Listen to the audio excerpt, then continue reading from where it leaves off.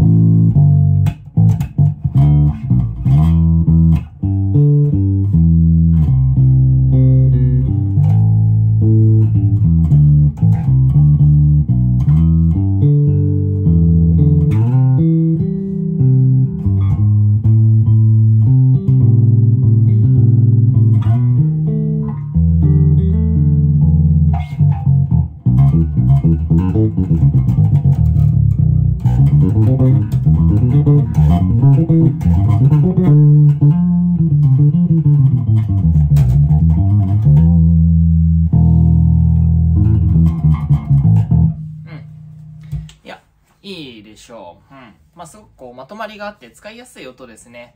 あの、意外とその、ハイエンド系のブランドのこういうベースって、あの、レンジ感めちゃくちゃ広いんだけど、ちょっとこう、ちっちゃってる印象っていうのがあるんですよ。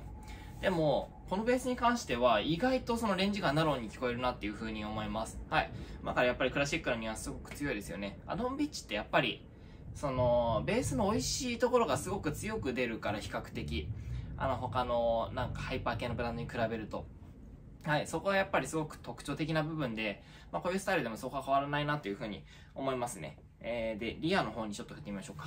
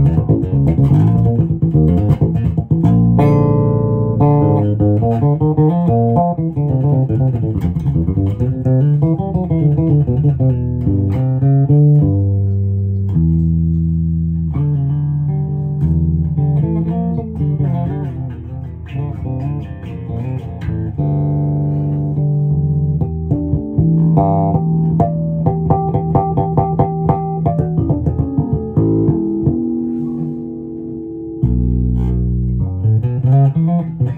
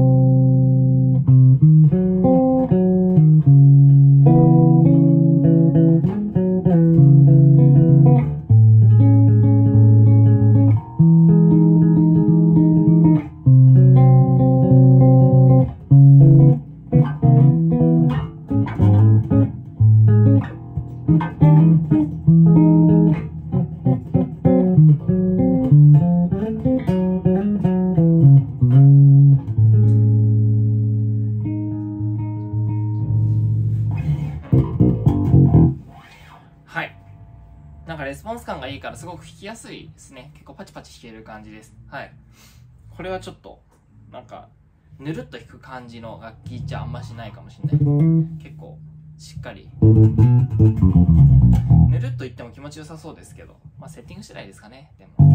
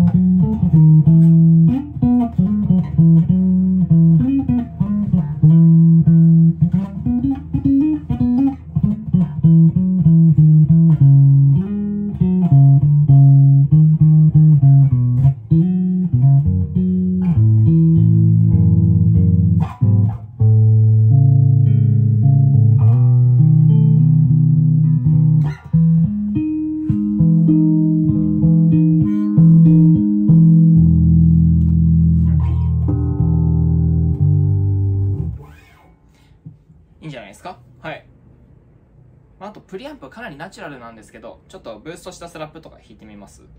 ミックスで少しロート上足して弾いてみます。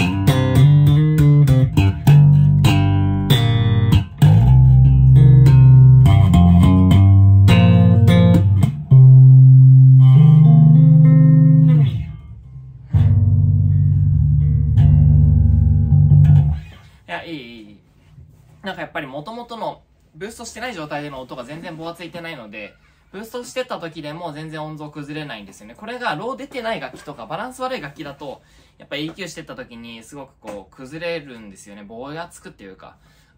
うん。そこら辺がすごくバランスいいなっていう風に思いますね。はい。非常にいい楽器かなと思います。ということで、ぜひ、もし、でも今ちょっと商談がいっぱい入ってるので、これ、多分、ウェブで出ることはあんまないかなと思うんですけど、あのね、こういう楽器、あの、実際にウェブで売り出したりする前に売れちゃったりするんですよね。本当にいいやつって。あの、店頭に置いてあって売れちゃうとか、あの、ツイッターで出した情報で売れちゃうとか。なので、よかったら店頭ちょいちょい遊びに来てみてください。あとはツイッター見てると、あの、できるだけすぐに情報出していくので、あの、やっぱりフォローしてくれる人にとって価値があるものにしたいなっていうふうに思いますから、そういうものは。はい。っていうふうにやってます。よかったらチェックしてみてください。最近寒いのでお気をつけて。じゃあ